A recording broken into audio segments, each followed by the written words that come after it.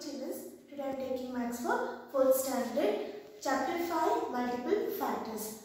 So in this class we learn multiples, what are multiples and the properties of multiples and LCM.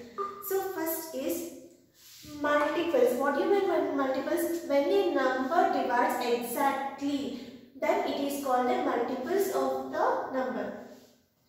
So even uh, 8, 4 2s are 8. So remainder is 0, the numbers divides exactly. So that is called the multiples of that number.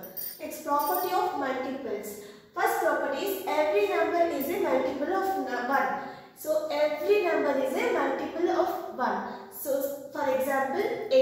8 is a multiple of 1. 1 8 are 8. 33. 33 is a multiple of 1. So every number is a multiple of 1. Second property, every non-zero number has unlimited number of multiples. After um, non-zero numbers that may be any one, so that number has unlimited multiples. So for example, 10. What are the multiples of 10? 10, 20, 30, 40, 50, 60, 70, 80 and so on. It has num n number of multiples. So there, there is no end for that. So it numbers goes on. So that so every non-zero is number as unlimited multiples. For example 2. 2, 4, 6, 8, 10, 12, 14, 16 like that.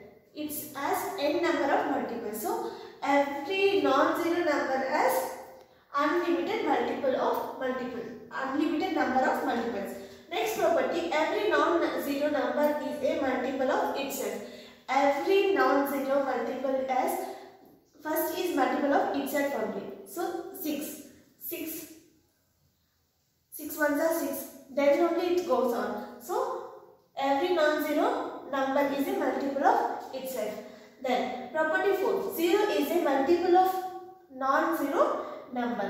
0 is a multiple of non-zero number. Property 4 is 0 is a multiple of non-zero number. Next property is every multiple of a non-zero number is either greater than or equal to the given number. Every number should be greater or lesser than to that number. It should not be more than that number. Next property 6 is the first multiple of a given is the number itself. So the first multiple of a given number is that number only first.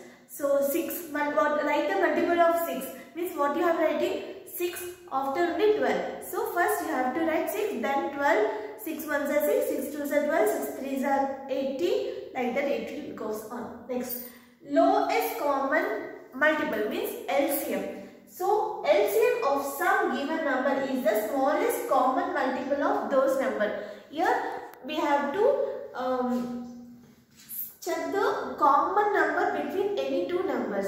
For example, LCM of 6 and 8. First, we have to write the multiple of 6.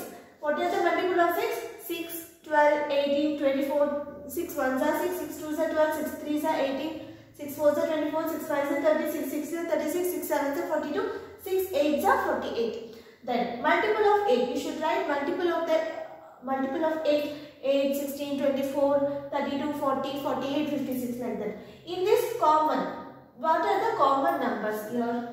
Here also 24, 24, right? 24 is a common. Next, what are the next common? 48. 48 is the common. So, in this, we have to check least. LCM means least common factor or lowest common factor. So, in this, which is the lowest number or less number? LCM of 6 and 8 is which is less number? 24 and 48. In this, which is the lesser number? 24. So, LCM of 6 and 8 is 24. In that we have 48 we should not take because we are finding lowest common factor. So 24 is the common, uh, sorry 24 is the lesser number. Thank you.